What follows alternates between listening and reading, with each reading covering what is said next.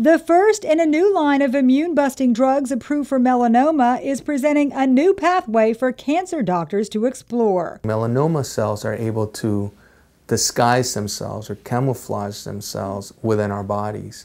And what Keytruda does is it removes that camouflage. Used on late stage melanoma patients, Keytruda delivered exceptional results for people who were out of options, proving the value of immunotherapy we can then harness the power of our own bodies to fight off these cells that don't belong. Drugs like Keytruda reinforce the idea that it doesn't matter where a cancer originates. What's more important is what drives it. The same mutation found in melanoma may be present in other cancers, including lung cancer, where researchers are hoping for similar success. So it's being studied now in lung cancer. We've had some very interesting, very encouraging preliminary results for clinical trials.